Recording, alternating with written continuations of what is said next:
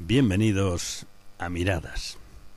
Nuestro recorrido por el libro de los Salmos ha superado ya los primeros 58 y ya rebasamos hoy la mitad del Salmo 59 en el tercer día que le dedicamos.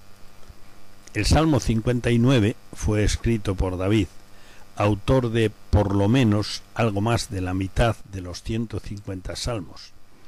En este Salmo 59 David clama a Dios por defensa de sus enemigos, que también lo son de Dios, y ruega que esa defensa sea un castigo ejemplar, que deje muy clara la intervención de Dios para salir al paso de los que además de amenazar a su siervo David, se burlaban de él. Como en muchas otras ocasiones, David no invoca sus derechos como servidor de Dios, sino la misericordia divina obrando a su favor sin merecerla. Nuestra mirada de este día lleva como título Testimonio. A David le importa sobre todo, más aún que su defensa, el honor de Dios. Por eso cuando pide el castigo de sus enemigos, quiere que sirva de testimonio claro para el resto del pueblo. Es un tema destacado en los versículos del Salmo 59 que leeremos y comentaremos hoy. Hoy leeremos y meditaremos en los versículos 9 al 11 de este Salmo 59 que dicen así.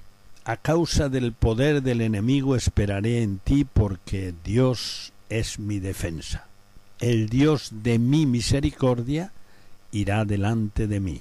Dios hará que vea en mis enemigos mi deseo. No los mates para que mi pueblo no olvide.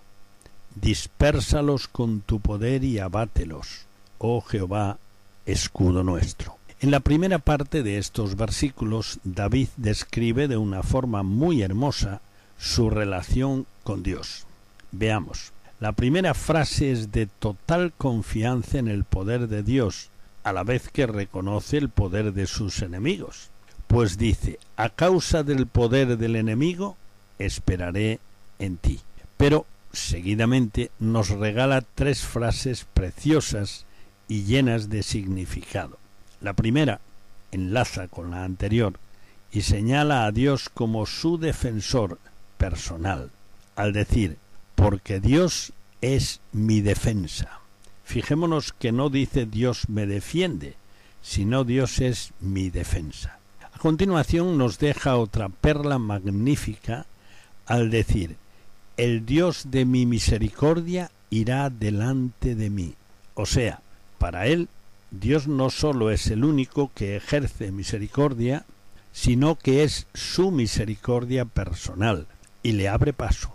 Por eso está seguro de que Dios le dará la victoria sobre sus enemigos.